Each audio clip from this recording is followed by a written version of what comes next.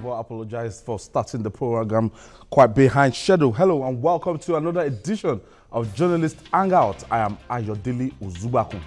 Today on the program, Appeal Court reserves ruling on Ondo PDP governorship tussle. Senate fails to stop ASUU strike. And later on the program, Orji Uzor Kalu defects to APC, vows to deliver South East in 2019.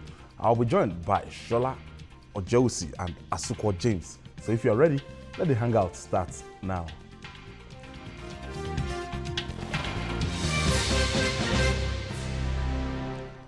As the Ondo State governorship polls draws nearer, the political atmosphere in the state has been full of surprises.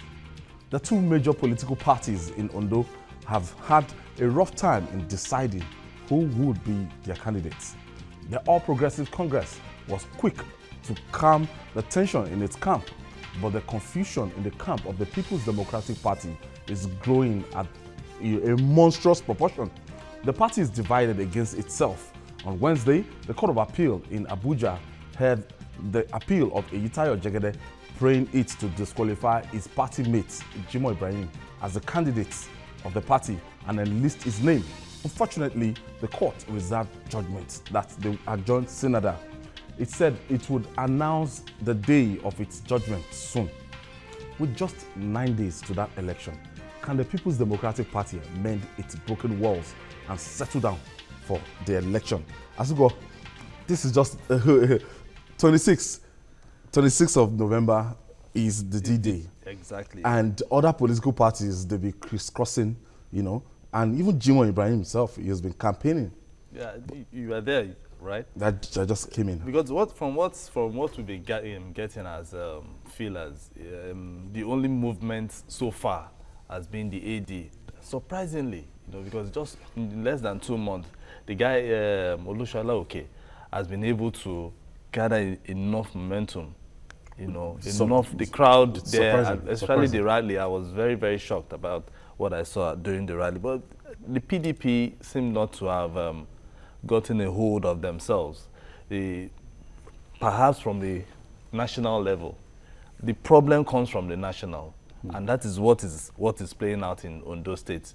You know, because if they, they are able to sit down and say, okay, this is what we want, and this is how we can, you know, go ahead, you know, to to um, and who we really want as our candidate for me, I think it will be too late, despite having an incumbent from that party, because they've lost so, a lot of grounds. Those who are supposed to have backed them, joined them in the campaign, seem to have made up their minds. Just like the American election, there some people have already made up their minds before the main is what we're election. You know, you know. So I think so many people they they've lost a lot of ground. I know before this whole Jimoh Ibrahim thing came into existence, so many people have already made up their mind on Eyitayo Jegede. They were backing him. They wanted him. He even had a kind of a head start. You know, yes, a, Ahead of ahead of every you know, other political every other- party, you know, yes. and candidate. Mm. So coming from Jimoh coming faction, um, was just factor. like a spoiler in quotes, you know. And if we are going to say he's a spoiler, now I'm very sure Jimoh doesn't even see himself as a spoiler anymore. He all. sees I himself want to as tell you that a candidate, Yes, a the way- strong candidate. Yes, you know, yes, it's so- in the in the party. You understand? He, he believes he can be governor, and he's ready to spend everything to become that governor. So whether PDP likes it or they don't like it, what they should do is they have to look for a candidate that would fly their flag. Not um, uh, uh, Shola. When you look at the the um, Eyitayo Jegede, before every other person started, he started out, and you know by the, with the backing of Governor Mimiko, he had already crisscrossed um, on those states before now and everything. He had a kind of advantage over others, while the, the APC primaries, the controversy and everything, it was he's been campaigning. So it just this uh, litigation just slowed him down hmm. in the last, and this is the most crucial part. Mm-hmm. But y- you know what? Like he was saying, I, I mean, there is, it's obvious. It's not a strange candidate in the state. It's not as if it's just coming out of the blues. He's been in government. Somewhere hmm. along the line is known. And whether he's campaigning or not, I think even the kind of buzz, the legal rigmaroles, mm-hmm. the noise around that, is also creating some kind of impact for him and in, in a way. Because it's all, I mean, well, now the problem is the people are not sure. So because of not being sure, the tendency to begin to move a bit away Yeah. or to see some possibility of he not even coming may really affect his, uh, uh, his chances. And somewhere uh, in the Oke camp, people must be smiling because the way we're looking at the, the way things are, if, like I said, I'm really surprised the kind of force, Momentum. the kind of momentum that we are seeing in that camp. Initially, people have been looking at AD as A dead you know, party. Dead but, party. but from Yeah, what is but- going on, so we are up for a very, very serious We- election. But I, I'm, I'm worried. Somehow, the ombudsman in this situation, it's a legal situation now. And then we are, we are being put in a kind of cliffhanger by the court. When it remains just nine days, Yes. why this idea of reserving judgment? Hmm. You know, it caused a lot of things to question. The, the judges, I mean, the justices, you know, they know better. It's their call. Actually, I think we're it's, going. it's a normal thing. No? It's normal. That we're going to communicate when we are going to Eh, have that. when? When? Look, so that, So that it- it- you enhances the tension. Yes. Because the, the We are not in a hurry the way politicians. Eh, but now, we now- have time like uh, I know we have time. Well, that's, you know, if, I mean, there must be a kind of equity too. Because to- time is also of But if you if you in the if you remember of the if you remember Atiku Abubakar in 2007, Yes. there was um, this particular time INEC they were contemplating making putting his name on the uh, you know you know as at that time. Yeah, yeah. So there was this litigation about EFCC, no EFCC. So it on the ballot paper. So I think it was cleared like a week and a half Today. before the 2007 election. election. I don't know how that effect affected him negatively, but we have it. But history had it that he didn't win. He didn't the- win. And so that's all we the are saying that, you know, like they say, where two elephants fight, It the, the grass, grass. suffers. But still, in this situation, I don't see the grass of AD suffering because what we are seeing is AD seems to They be don't have. A, cashing in they on. don't have a, a local government chairman. They don't Uh-huh. have councillor. They don't have senator. They don't have the the governor, the normal people. So that- it's- but So, so is what they have now, what they have now is those who are loyal to this uh, to Olushala. Okay, Yes. But it's also a lesson for the so-called big parties, even as we run up towards 2019. Exactly. That people should be careful. We may be thinking of APC, PDP. Do you understand? Before you know it, somebody, Somebody can will come, just- and the people are already sensitized. Exactly. People are being, you know, because of a number of factors, the indices of recession, blah, blah, blah. Hmm. Somebody can just come up from an unknown party, something a la AD, and then Alright. we, we, we, we may be seeing a different Let situation. me when we take this break. When we come back, we'll discuss more. It's still Journalist Hangout on television, Continental.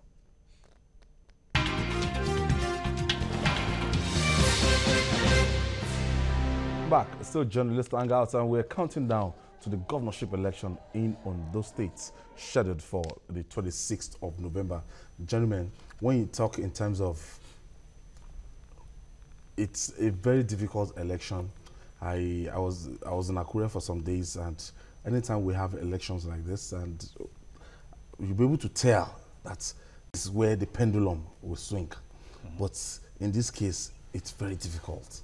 Not forgetting that the All Progressive Congress they have their structure too, and um, Rotimi Akeredolu is quite formidable, and a lot of people see him that he might be banking on that so-called federal might, if there's anything like that.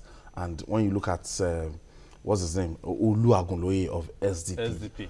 you know, it's also it's also there. So when you look at the way things are turning now, it was an Itayo Jegede thing before. The show was, you know, coming from Akure, and the factor that the central, it's wherever Mimiko asks the people of uh, Ondo town to go to. Mhm. He has Ondo town, he has Akure, and this uh, uh, central senatorial district accounts for like 40% thereabouts of the entire votes. Now, if the judiciary, because we don't know what is happening, if they don't allow Eyitayo Jegede to contest, what will this mean to this election? Well, I, I, I can in terms of demographics, because you were making reference to um, Ondo Central, um, from Ondo town to Akure, that has always been Mimiko's stronghold. You know, I, I mean, I'm privileged to have been part of the Ondo policy, though I'm not Okay. from Ondo, but I'm from Ondo State. I, I actually, I wrote a book on the governor then at Really? the So Okay, I was all over the place. I knew a bit of the. One thing is certain: in case Jegede is out of the picture, we Hmm. hope because I believe this should be a free and fair election. Hmm. There should be no room for tension. If the judges will just spare us whatever problem may come out of that, they should give us a decision in good time so that Hmm. the people will know where they're going. So on that note, but in case if it goes against him, then we, we we're looking at a kind of two horse race. Then, uh, and Mimiko will like hold the ace. Yeah. If they don't allow him to Then field his he- candidate, he have it will definitely not work with a Jimoh Ibrahim. Yes, At least we can say that for sure. Yeah. That it might not be So, working with somebody I from mean, his party. He has to be, if it happens that way, it will be leaning towards a particular camp. Well, Hmm. we don't know what. You know, hopefully in Alagbaka, they will be hoping that, I mean, uh, Jegede will still take the day. But whatever happens, the only thing now is um, the issue of federal might good. But we have to know that the Ondo people, hmm. they are a factor. This is a state that is politically very, very strong in terms of the people, the, the ordinary people in this. You don't just hmm. And impose sophisticated. things. Very sophisticated. So that's why I'm saying whatever is going to happen, whoever is in, in, in charge of security or whatever, should please take note of the aspects of Ondo as a state of highly sophisticated people. So whatever they're going to do, they should make sure that the people see free and fair election coming up that day.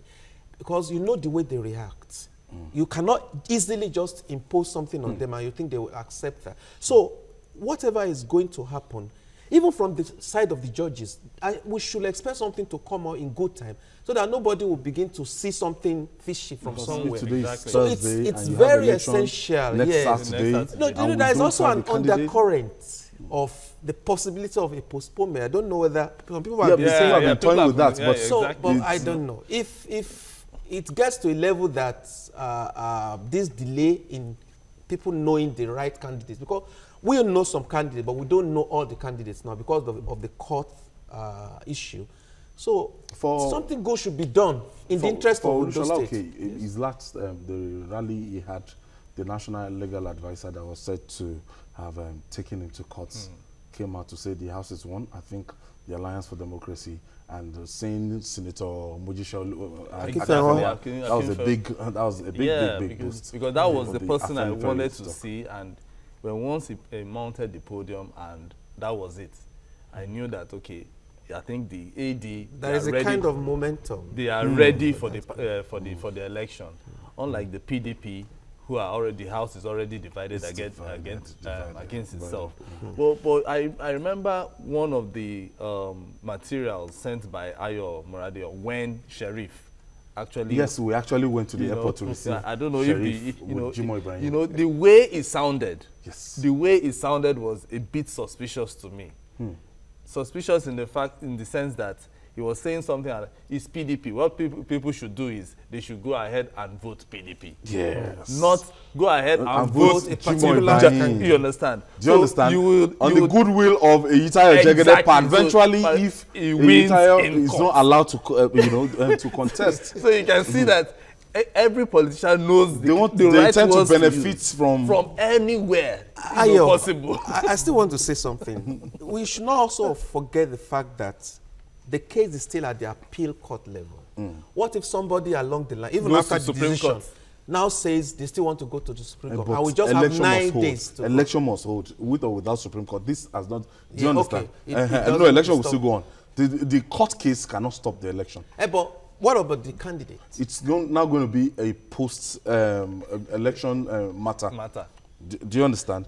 Now, it's going to be easy if eventually Jimoh Ibrahim wins, you know, the governorship, The governorship. election. It will be easy for Eyitayo Jegede to come even after the Court of Appeal ruling. say With right and all. rightful owner. So it will now create a Celestine Omehia and Amaechi Yeah, exactly, you know, exactly. scenario. Scenario. But in this situation, when Jimoh Ibrahim is not even favored, he's not, you know, I, I, first three from the calculation. For the calculation, at uh, first three, I know he's not there, but, I, but he's, he's, he's campaigning now. He's moving. It's been campaigning. on campaigning. So- Let me pick my first call. Shola is calling us from Lagos. Many Yeah, thanks good for hanging out with us, Shola. Good evening, Alakunle from Lagos. All right, go ahead with your contribution, Shola. Oh, yes. I'm very interested and uh, I was watching you on the TV live. Actually, my contribution is just goes that uh, Jegede is going to have the day. Just that if I- if PDP win the election and they declare Ibrahim, so those uh, is going to repeat as uh, Oshiomhole and Su- Osunbor at uh, Edo State Tribunal. So I believe after the election, if PDP got the day, and I believe the, the judgment is going to favor Jegede, and if they declare Jegede as a candidate of PDP, so meaning that they have won the, he's going to be the next governor of Ondo State. So that is what I. Thank you so much, Shola. Thank you for your contribution. The, but the, the problem, yeah, the problem now is that we don't even know the date. you know, uh, where Then the- when they are the- Johnson, the- they can you know, communicate tomorrow. to- tomorrow, They we can communicate to the lawyers tomorrow. Uh, They but we can don't know this. their verdict. So it might be after saying- the election too. So On- well, well, the only thing is, those who are rooting for Jegede may feel shortchanged, and that's why Yes. we can Exactly, appeal to the judges. exactly. yes. So at least do something to At least give equity, for that, that allow that kind of sense of fairness at, after everything is said and done. But Juma Ibrahim is too. He's not taking It's it not easy. easy. On Sunday, he's saying that if, um, if anything, if INEC alters th- that list, Hmm. that something untoward might happen. That he's sure is going to win that election. Wow. He even said it that um, he's inviting. Um, he's going to make. Um, um, Aketi his special advisor on uh, legal matters as a lawyer that is going to give him professional um, advice, you know. And the way he was sounding so confident that Hmm. he's going to win the election. don't forget APC too. They also have um, um, case in court too. Yes, you know, yes, Ibrahim and, Yeah. You know, so I, But you know, after all is said and done, the state matters. All the players should remember that. I mean, whether you would like it or not, somebody has to be there, Shola, and the future matters. What, what will be the effect on INEC? Because the ballot papers that I've seen so far, I Hmm. think it's just about political parties. They, no, they, don't, uh, they no longer put the names and uh, the names of the candidates Yeah, and the photograph of the candidate in that ballot paper. I- it's all about political party. What if tomorrow the court is saying is Eita Jegede is the candidate? What will be the implication in terms of preparation for INEC? Well, I think sometimes other too, it's the party. You know, they, they, maybe that's the reason they're taking that. I mean, they're trying to be careful Mm-hmm. because of all these uh, wala, wala around the election. They don't want to because that means in terms of monetary value. If, are they going to start printing Hmm. another set of whatever? Mm-hmm. You know, considering the huge cost, we're in a recession and Hmm. all those things. So maybe eventually they will just decide on the logos. Hmm. You know, if you say go to the, if you want this candidate of this particular party, then vote for this particular party. Then maybe underneath, people will know that this is the person representing this particular party. But you know, I, Nigerians, we are very good at approaching things with fire brigade mentors. Maybe somewhere along the night, the INEC abracadabra will uh, win the day. I'm just looking forward to that. IK is calling us from Lagos. Thank you, Ikechukwu, for calling us. Okay. Go ahead with your contribution. Yeah, my contribution is uh, I want to really greet them for their good job. But what I see is that uh, it is just unfortunate that uh, I think. Uh, hello? Yeah, I, I want to contribute. Uh, it, it's just unfortunate that uh, uh, is facing what he's facing now, this issue of PDP. But I see uh, maybe after the appeal, maybe uh, Jimoh Ibrahim can go to Supreme to uphold the judgment of the appeal.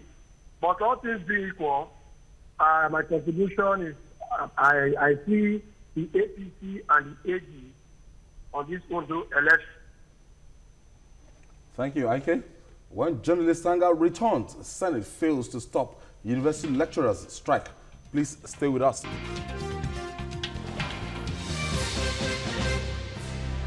Today makes it the second day since the Academic Staff Union of Universities, ASUU, started its one-week warning strike. On Wednesday, the Senate President Bukola Saraki presided over a three-hour closed-door meeting with officials of the union in an attempt to stop the industrial action, but no agreement was reached.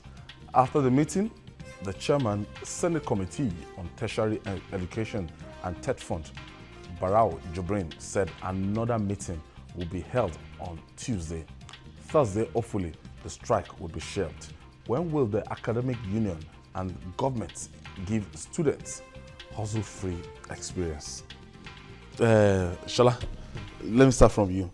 We have a situation now that most wealthy parents they don't even send their children To public schools. public schools because of uncertainty that surrounds their academic calendar and everything. There was a time we were all in the same schools because there was not, but the time we went to school, we didn't have private universities, so everybody, you know, everybody went to government and there's was elements of um, stability. But right now, you can't actually predict What will happen? they are going on a warning strike now. After that warning strike, I'm not sure government will meet their demand because this thing has been on the table since 2009. Well, but the, the question which was in the court of the government to now fulfill its side of the bargain. That we are now seeing this really surprises me because, I mean, the, this government has been priding itself in, I mean, being concerned about the future of Nigeria. Now, whether we like it or not, whether private schools or no private schools, majority of Nigerians, majority of parents in Nigeria have their children in public schools. And these public schools are affected by this new mm. problem. Mm. So I think if we're really thinking about the future, if there was an agreement, there was an MOU signed to that effect, are we saying because of the recession, that's why the government is not fulfilling its part of the agreement? Hmm. Because look, the ASUU people are also Nigerians. let me Yes. let me just take this breather. When we come back, we'll talk more. Still, journalist hangout.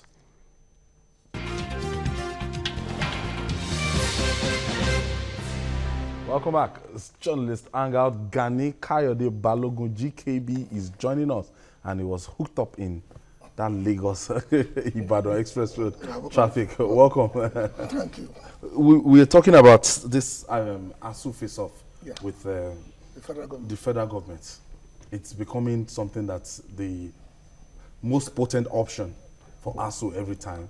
Well, but- no, no, no. You have to go back in history and look at what really led to this in the first place. Nigeria was losing its best brains in the early 80s when uh, Babangida thing came up and a lot of people are leaving. So those who are left decided that the best thing they can do is to negotiate something that will keep them here so that they can stay in the system. Of course, government agreed with whatever they asked for, but every time they renege, it's a working work in progress. That's what they do every year.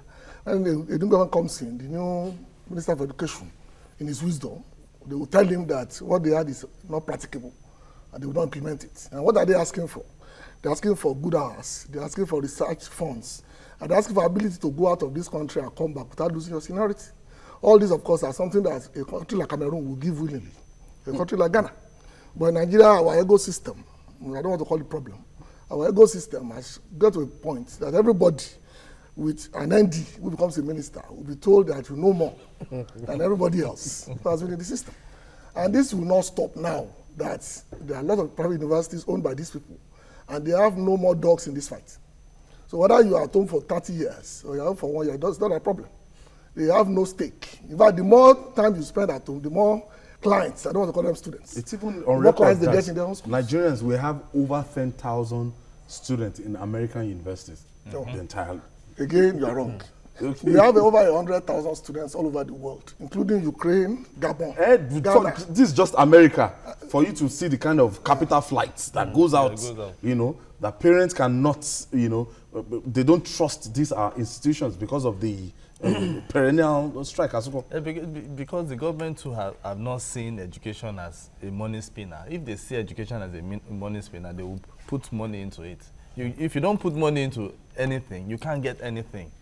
And that is why I, I, I don't know why this is taking this government a lot of time for them to, okay, bring these guys together and sit down and see how they can agree They, on it. they Because raised one very, is 2000 they raised one very important issue too. They, you know? they they spoke about the single treasury um, and- and TSA. TSA. Yeah, big- I think they're having difficulty, yes, you know, paying their salary. They're saying they've been collecting. How do how do they describe it? That the salaries that they've been collecting has not in the last one and a half years, you know, been up to eighty percent of their real salary. They're having difficulty.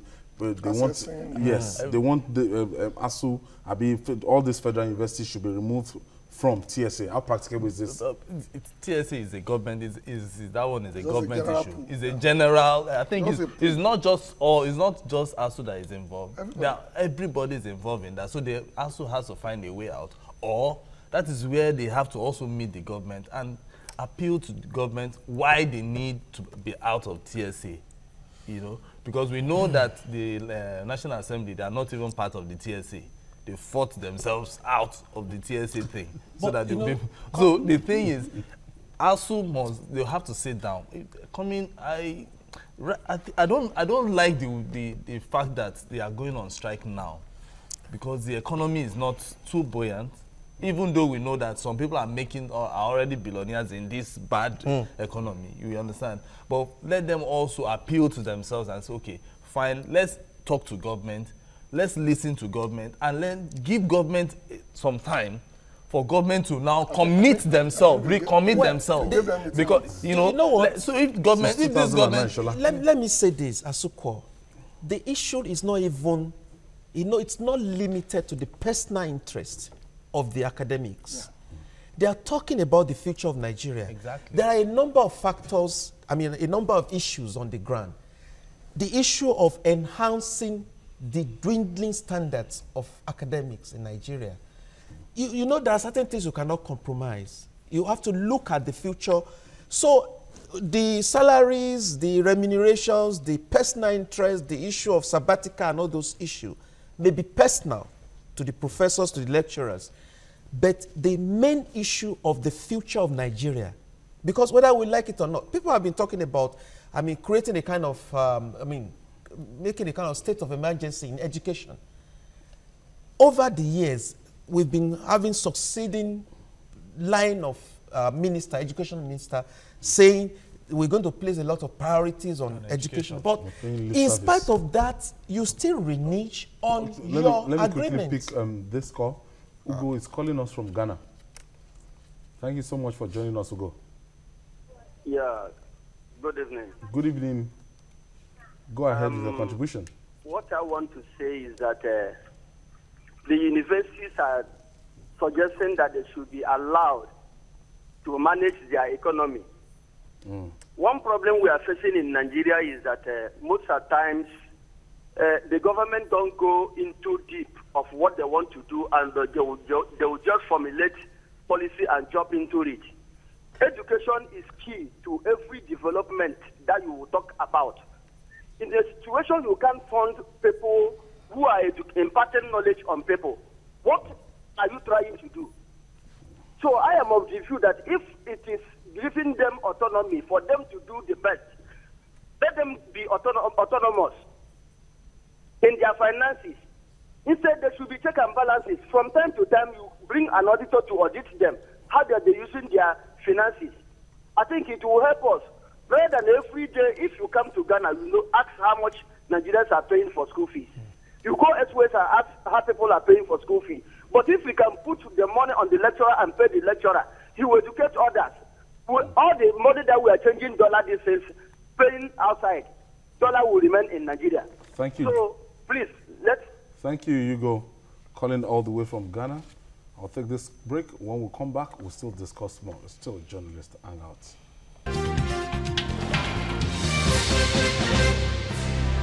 Come back. Okay, gentlemen, let's our last take on this.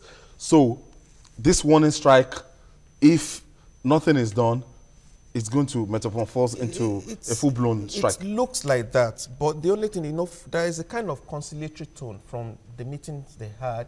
I heard the ASUU president saying, the, I mean, there is a kind of understanding going on underneath. The same thing coming from the committee, Senate committee. I hope at the end of the day, I mean, there will be some level of sense because, as we were saying, whether we like it or not, it is the future of Nigeria, and people should do something about this. It's becoming too much. The incessant issue of strike, other nations are laughing at us. Just somebody calling from Ghana. Mm. Nigerians are rushing to Ghana for Togo, places, Togo, to go and Republic learn. francophone countries I think to go and learn English. It's, it's becoming a bit terribly embarrassing. I know. Coming on the conference. Francophone countries So, to go and learn English. I just wish understand. somebody out there will mm. understand what is at stake and something drastic is done about this uh, problem. That's Asugo. my take. I- I- yeah, it's true because we, they need to just sit and make sure that they address it once and for I know even when I was in school, there, there was a time I experienced a six month strike, you know, and since then I think I, I now have children. And see, I'm still listening to, I'm still, eh, I'm still one. talking, It's a I'm still talking about strike up till now. So it means that the government is not doing their work, own work. Let them, since 2009, it doesn't make sense. This is the time You know, um, so let them all uh, come Malama together. Adamu Adamu You understand? and, And, um, ah, uh, no, Chris no, doesn't. should just breeze up to the task. Mustafa is calling us. Thank you for joining us, Mustafa. Uh, good evening, Mr. Zubakun. Good evening, the panelists. Good evening. Um, really, this issue of ASUU strike, I want to look at it from two dimensions. One, the strike is really, yes, sir, the strike is really getting too much. As heads within the academic setup, one feels strongly that uh, there should be alternative to strikes. And the, the universities are really, one is getting puzzled that all this while, all the egg heads cannot find alternative. Oh, oh. That's an naked. We, we lost that connection. Gani, your last take on this? Uh, Luther continue.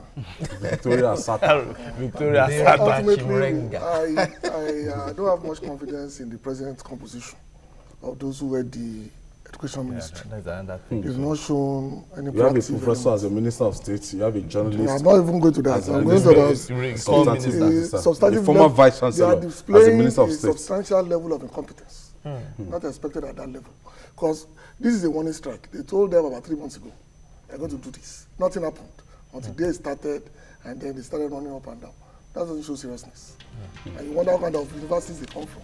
They cannot even do a simple matter of preempting a preemptive strike. Hmm. Hmm. Moving on now, the All Progressive Congress has received converts Converts. to its camp. Yesterday, the two-time governor of Abia State and the PDP chieftain, Orji Uzor Kalu, visited the party's national secretariat in Abuja.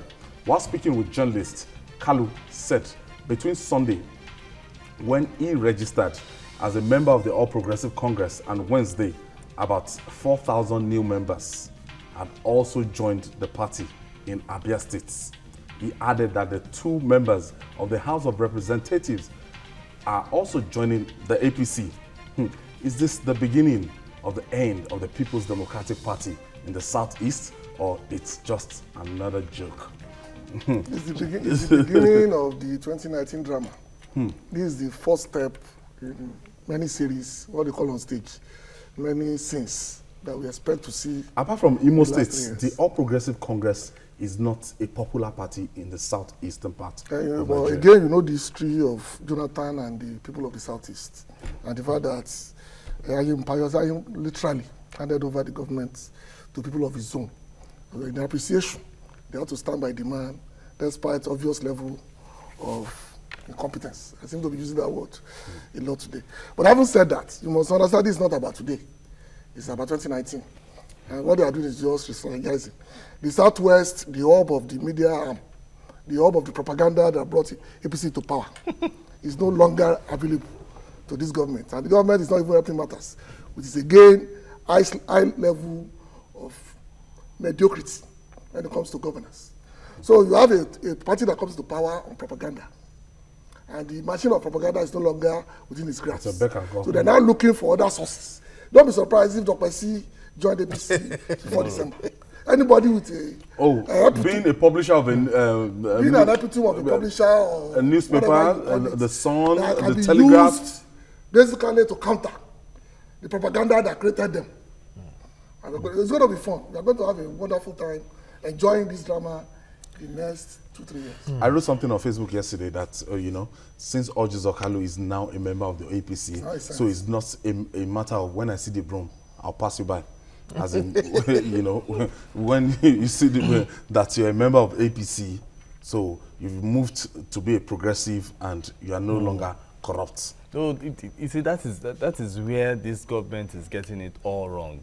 You seem to be fighting corruption, and your party corruption. is also empowering co- corruption. And then the president said something about corruption Yesterday, when you see today. the way um, um, Governor Oyegun He said and something about um, corruption former fighting that- yeah, the that corruption is blushing, as fighting- in, they were so excited. Yeah, because That's- the president said. I'm just giving you the background No, that- what is happening. The, you know, Well, the president said corruption is fighting my back, take and you're bringing in somebody who has a corrupt uh, corruption case, alleged corruption case. It's not alleged. The case is If ongoing. you, that is what you're saying, it's alleged. If Okay, it's- okay, it has not okay. been It's not been- convicted. that's proven. You know, I'm, I'm, I'm sorry, I pity the APC because you know, um, you know, when you come with the toga of cleanliness, and then you are digging yourself in the mud because you want to, maybe you are looking forward to 2019, as Mr. Balogun said, then there is a problem.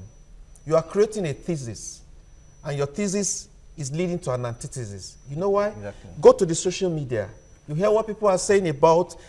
Some people went to the extent of saying, now we should expect the APC to resurrect Anini, uh, Oye, um, Oye, Nusi, all those armed robbers that were executed Osunbor. in those days, and Osunbor, to come and become members of APC because they want to prove it. Somebody even said Shekau should be invited. Another issue, is it, man? if it's about media power, yes, I know um, Oju Zokalu has the media. I mean, you have the Sun, you have Telegraph, and all those. But it should go beyond that because Orji Uzor Kalu, as of now, is not in charge of his own area. Senatorial zone. I don't even win his And own He's zone. not in charge of Abia. so Abia. somebody that established PPA solely So, established I want to know, yeah, it's the, And left it. it's the chairman board of trustees. Is of it PPA. being done? If it's a question of trying to counter the, the I mean, counterbalance the impact of the press in the southwest, I think, like I said, it's going to be antithetical to whatever plans. This party has on stopped governing. Hmm. In case you have not noticed, every move now is basically towards re-election. And it's really a tragedy. Re-elect, uh, uh, re-electing who? Sorry. The president. That's what the party is doing. They are no, no longer governing. Any, any appointment you see now is in the big chess game of what's going to happen in 2019. People are moving. People are So already we are talking about 2019. People are, they are no longer governing. They never govern for a day because the economy is in doldrums. They have no idea what to do. Don't forget about policies on education, forget about policies on telecommunications, even the digital, digital element we are expecting in January, that by now they should be making noise. That Nigeria is joining the top, Yeah, 20 top 20. in the world. Nobody knows because it does, it's not their problem. The problem is how to get a couple of regional newspapers to counter a national newspaper, get a couple of TV stations to see what they can do. Atiku is primed. El Rufai is primed. The deaf one is primed. And everything is moving in the same direction. And then we run into a problem at a point. We have nowhere to go. We are right now not in a one chance bus. The bus itself has no engine. The driver is sleeping. And we are, we are praying is that we don't crash. Because by now, a serious government. it has not moved. It We have not moved, but it's even worse. A serious government now will not be worried about 2019. Because A serious government will be worried about how to get us out of their self-induced farming, which is also itself is a joke. That the farming that is coming. This is the first time in my life that somebody will announce farming as a precursor. You are the government. Hmm. As you said, people are smuggling hmm. grains out. yeah. You are not the opposition. You have the police, you have the customs, and you have the audacity hmm. to announce that you are helpless to stop people moving our food. There is no strategic grain reserve. There is no strategic elements in the system. And the minister has the, in some countries, will have been sacked at that moment because shows serious incompetence. You know, yeah, because I don't know. As well. The, the, this government has really not been too. They, they've shown like um, Mr. Gani said, incompetence in all areas. So you know. what is the implication So of the- the, coming of? The- the- let- because he said I- I- let me- 4,000 let me 4,000 tell- Abians Let me tell you. joined let me from you, Sunday if to he has- Wednesday. even if he has 10,000 Abians, when once it comes to election that will involve the man that is there today, they will still vote him. in Southeast. Because this economy has really dealt a serious blow to the Easterners. Many of them are already out of business. Many of them are already finding uh, finding it very The very difficult. Yes, now they are finding it very difficult to make money. So they are even thinking of going try, going out. Don't forget there's this um, Erisco man that is- the man has already gone to China and, and Kenya for business. So do you how do you want him to now recover? I, I don't know whatever is getting the APC jittery to the No, extent get- that they want to move away from whatever their the, whatever background they've had or whatever base of support they had in the run up to the last election. And they want to now begin to look at other climes whatever is getting them jittery they should know that what matters is they should govern first Yeah. if you govern people will go after Yeah, you you don't need anybody. Just go, Govern just first. give us what good governance, That's and then people will vote for It's you. like, it's like the Naturally. analogy. Yes, it will mom- flow. Which I don't know what I'll make on So like, you can't take the analogy. But the analogy is clear. He said cannot analogy? give a man who trained with a 504 uh, brake uh, gear and give an automatic car and you expect the car to move. That's the analogy. I want to thank you, Shola Ojewusi. Thank you, Asukwa James and GKB. Thank you. And thank you, traffic. and that's it on Journalist Hangout today. Join us tomorrow for another interesting episode of the program. You can also watch Journalist Hangout on YouTube, youtube.com slash TVC News Nigeria. Our feedback channel is Journalist Hangout at tvcnews.tv. I am Ayodele Ozuba. Bye for now and God bless Nigeria.